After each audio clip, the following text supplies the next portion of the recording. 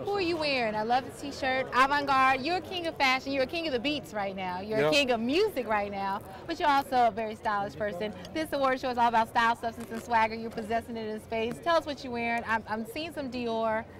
All I can tell you about right now, I'm not I'm not king of fashion today. Just I look good, but I, I, know, I know I got G-Shock on. I know I got Christian Dior. I know I got D squared on. I know I got Versace But you have the on. Dolls of speed dial. You already know. I already know. I Versace right. Dolls on, Fergie. What's up, Nicole? Fergie. Those are my girls, you know. So we're gonna keep trying to make history. One time was up Sierra, We're about to go in back on Ciara album, we love you, CC. and you know we we make history. You know what? Uh, you have a lot of artists in there tonight. Who besides your artists, because we know that you have helped develop them into the multi-million dollar sellers that they are. Who are you looking forward to seeing tonight? Um, Ludacris, you know what I'm saying? I had some great opinions for Kanye West, you know, in the last hour, you know, with it, you know, what to go with next, you know what I'm saying? So I like to take a, a small piece of that credit, you know, and being a part of his project.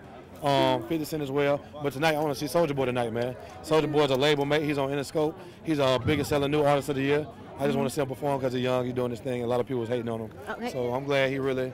And in, in, and in honor of you uh, uh, mentioning that, I'm going to see if I can do the Soldier Girl and walk it out really quickly. Did I do it? Did I do my it group- okay? My group's on that hook. I-15. That's my new group. I just signed them.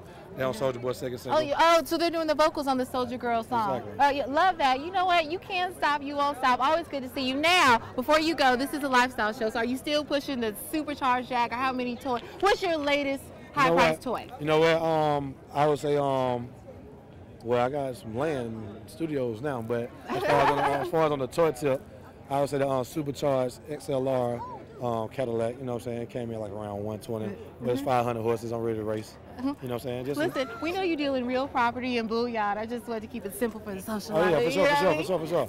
You know, I just got I just got a new car. I bought my mother and my father new cars though. So you know, they they riding around in a quarter million dollars worth of cars right now. You know what, Polow, it's mom and pop, you did a great job. You have a family guy and a guy that is just taking over his craft. We're really proud of you. Good to see you on the social life. Polow, tell them to keep it social on the social Uh, life. keep it social on the social life right here.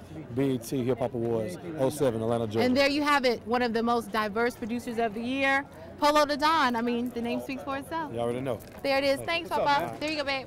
What's happening, dude?